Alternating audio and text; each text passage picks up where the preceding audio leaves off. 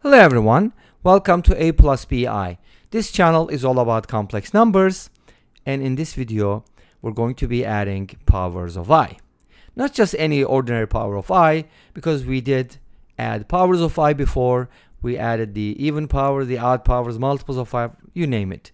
We've done quite a few different problems and then I just thought about could this problem be solved? And turns out it can be and it's a really cool sum. You know why? Because if you look at the exponents, do you see a pattern?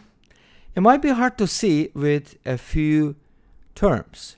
So it's always important and definitely much better and more rigorous to define this sequence or sum in a better manner. Like we may we need to make sure it's well defined. But I'll tell you what it is. Don't worry about it you probably guessed, but again, uh, a guess is just, you know, a guess, right? It could be something else unless it's, you know, clearly specified. Anyways, we have this sum i to the second, i to the third, i to the fifth. By the way, there were more powers that before i squared, but I skipped them because they don't look that interesting. I mean, if you want to add them, you can. And if you added those powers, they would be the first powers. Anyways, now, how do we obtain the powers? They are not all even, they're not all odd. Are they multiples of something? So, in other words, what's the pattern, right? When you have data, you're always looking for a pattern. Machine learning looks for pattern, deep learning looks for pattern, everybody looks for patterns. So, what's the pattern here? So, here's how it goes. You take the first two exponents, 2 and 3, and add them up. What is 2 plus 3? The answer is 5. I'm pretty sure you answered it right. And then take the second and the third exponent, right? You got the third one by adding the first two. Now add the 3 and the 5, and you get 8. And then you add the 5 and the 8, you get 13. Now 13 is not visible, but trust me, it will be the next power. Make sense? Great. But what about 987? That's such a large number, right? But if you keep doing this, you'll get there. You know how? I'll show you. Now, first of all, what does this mean? Uh, by the way, I asked this question to Wolfram Alpha, and Wolfram Alpha could not find the answer. Maybe my prompt wasn't that good, and I'm hoping that you can come up with something better. And you don't even know what my prompt is, but hopefully someone can come up with something that will give us a result. If you do, please share the link down below. Okay? Great. Now, if you continue this pattern a little bit more, like notice that we're adding 2 and 3 and we're getting 5, and then we're taking these two numbers and adding them next, and then we're adding these two numbers. You get the idea? So next I'm going to be looking at 8 and 13, right? So 8 plus 13 is going to be 21, and then 13 plus 21 is going to be 34, and 21 plus 34 is just going to be 55. Hmm, such a nice number. 34 plus 55 is 89. Does that ring a bell? I hope it does. And you just continue in this manner. But obviously, this is going to take a lot of work, right? So how do we get there? So you can continue to add, but and also let me tell you something. The numbers grow pretty quickly. So soon enough, you're going to reach that number. For example, if you add these two numbers, you're going to get 144, which is a perfect square, by the way, and that's just perfect, right? And then 89 and 144 it's like a lot of addition right? It's probably going to be 233 and then I think if I didn't make any mistakes then this should be 377 and then we're going to add these two numbers 377 and that should be let's see 33 and 77 should give us 110 500 plus 110 should be 610 great.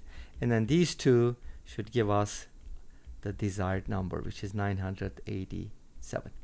Awesome. Yes, we got there. So looks like I didn't make a mistake. Okay. Now, what does that mean? It means that by following the pattern, I'm able to reach 987. This still doesn't prove that this is a good pattern, but I'm telling you, you know, this is the pattern we are looking for. Okay? So what is going on? This is the famous, or should I say infamous, Fibonacci sequence. So how do you form the terms? You start with 1, 1, and then add them up like consecutively 3, 5, 8, so on and so forth. But I skipped its first two, so I start with the third one. But here's the thing. We're going to be adding powers of i. And what is important when it comes to adding powers of i? i to the fourth power, because it's 1. Awesome. So we're going to try to get i to the fourth, or any multiple of 4 will do, like i to the 4k, where k is an integer. So how can I do that? Instead of focusing on the numbers themselves as powers, we can actually look at them mod 4. So mod 4 is the key to solving this problem. Get the idea? Because of i to the fourth being 1. Great, so let's start with this. Write a couple terms. We've written everything actually, so you can go ahead and copy those if you want. But I want to tell you something. Okay, what's the next thing? 144? Yeah, we'll continue that, that way. Now, this number mod 4 is 2. And notice that to get the next one, we just add the two consecutive numbers, right? So this will be a 3, right? And then this will be a 1 because 2 plus 3 is 5, but it's 1 mod 4. Make sense? Always think in mod 4. Now, to get the next one, we're going to add these two numbers. So this will be a 4 or a 0. 0 is better because it's 0, right? I don't know. I couldn't find a good reason. It's already good. Now we're going to add 1 and 0 now. That's going to give us 1. And then 0 plus 1 is going to give us 1 again. Don't be misled. We didn't get a pattern yet. 1 plus 1 is 2. 1 plus 2 is 3. 2 plus 3 is 5, which is going to give us 1 again. Uh-oh. After the 1, I should be getting 4, which is 0. Beautiful. Now notice that you got the 2310, 2310. See that? If you want to cancel out the first two terms, that's perfectly fine. No big deal. But here's your pattern. And that's when it repeats. Let's go ahead and kind of uh, put the block that repeats in a box so we know how many terms we need. Yay! Every six terms will have repetition. What, what is the reason behind that? Good question. You know, uh, if you know anything about Fibonacci sequences, please let us know in the comment section down below. This is going to be an interesting discussion. But my point is to just quickly show you what the uh, last term is going to be. Now, what does this mean? This means that I can find the sum of the first six, and then it's just going to repeat with powers, of course. So I have one, two, three, four, five, and six, and then one, two, three, four, five, and six. Beautiful. I got a beautiful pattern because all that I, all I have is just going to be, well, wait a minute, this is not right because I'm only looking at the sums. Okay, never mind. I'm going to have to uh, write this whole thing one more time because uh, that's not going to be that small. Okay, anyways, let's write the sequence. Let's try to write all the numbers. Let's try to squeeze in everything here. And then I'm going to try to uh, find the powers. 144 is going to be followed by 233 and then 377 and then 610 and finally 987. Good. Uh, there aren't that many terms. Now notice that the first six, right, are going to give me something nice, starting with the 5.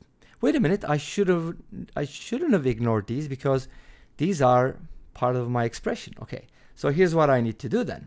I kind of need to choose a new one, which is this group right here, which means it's this group right here. Okay, so that's going to be my new group. Never mind. Forget about the other ones.